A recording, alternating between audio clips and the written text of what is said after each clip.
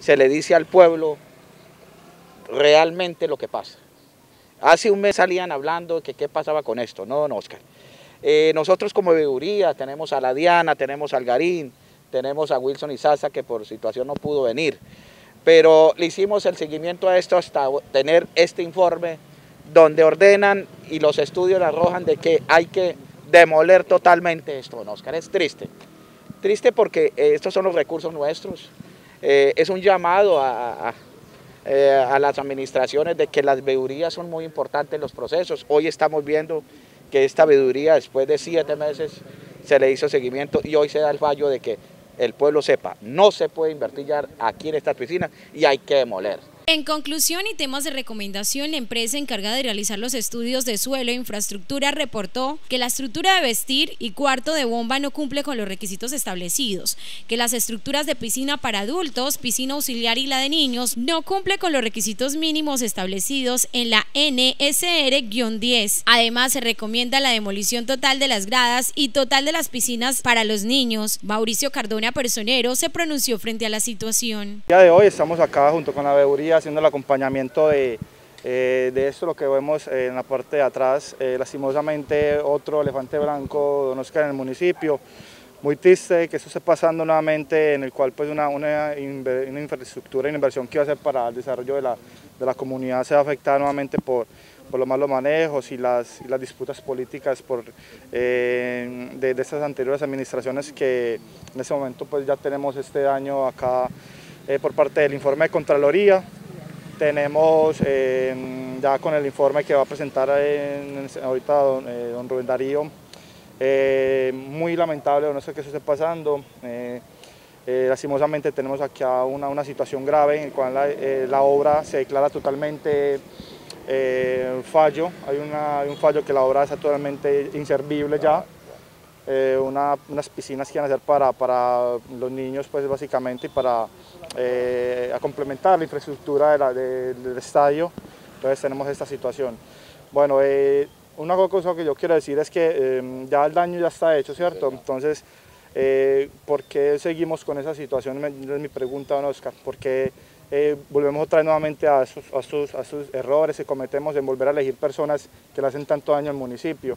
Eh, ya tenemos varias, varios elefantes blancos acá, tenemos la malena ya ahora con eso. Entonces, un llamado más que toda la comunidad de que eh, elijamos bien a quién, por quién votamos, elijamos bien por quién votamos. Eh, tantas situaciones que se presentan y nosotros no aprendemos. Líderes comunales esperan que desde la nueva administración municipal este espacio pueda ser tenido en cuenta para proyectos deportivos necesarios para la comunidad porteña en general. El llamado a esta administración de que aquí esto tampoco puede quedar así, esto aquí hay mucho para hacer, muchas cosas buenas, aquí se pueden hacer parques a aire libre, aquí se puede hacer una pista pequeña de ciclismo para hacer quincana a los niños, porque eso ya no puede seguir ahí un criadero de zancudos y todo, y ya ordenan demoler total. Don Oscar, eh, ¿qué nos queda a nosotros como veeduría?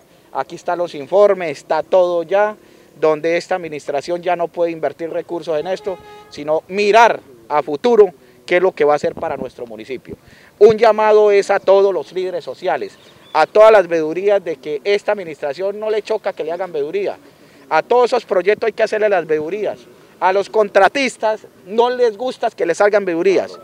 Eso sí quiero hacer un llamado. Los contratistas le echan la gente a, las, a los líderes, a las veedurías, en esos puntos que van a ser las veedurías, que porque no dejan trabajar, no, es para ellos hacer las cosas mal. Por otra parte, la no ejecución de la obra tendrá un proceso de responsabilidad fiscal, según lo mencionado por el personero. Contraloría, en cabeza pues del Contralor Felipe Córdoba, eh, junto con la, la, la, entidad territorial que es la Contraloría de Antioquia, acá en, en nuestra región, ya está adelantando pues el proceso de responsabilidad fiscal, y ya se esperan que los resultados en base pues, a ese informe que concluyó que hay un, hay un daño patrimonial acá y que la obra quedó inservible, entonces ya ellos están dentro del, marco de sus competencias y funciones, eh, iniciando pues, el proceso de responsabilidad fiscal. Y eso fue pues en la administración del concejal actual Robinson Baena y también de pronto no sé qué tan tanto sea la responsabilidad del anterior alcalde de Si eh, la responsabilidad por, por, el valor como tal son casi mil millones de, de pesos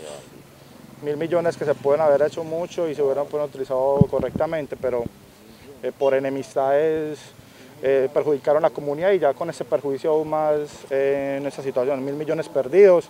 Y ya el proceso de responsabilidad fiscal avanza, me imagino yo pues ya que eso es independiente, yo la verdad casi no, no, no tengo conocimiento del tema porque eso es una parte independiente mía, entonces ya entraría pues ya después de eso un proceso eh, de, procuraduría, ¿cierto? un proceso de, disciplinario en el cual pues si todo sale será inhabilidad para los responsables tanto la cabeza principal eh, en ese momento como los, eh, los secretarios o los, que estaban pues, en tema de planeación en ese momento verificando el contrato y los funcionarios de planeación que se involucrando por, omisión en no haber eh, mirado que eso podría ser un perjuicio o no haber o dejado de hacer o haber o por acción, por acción o por omisión, de no tener pues, controlado eso y mirar que esto no fuera no, no estuviera sucediendo en ese, en ese momento.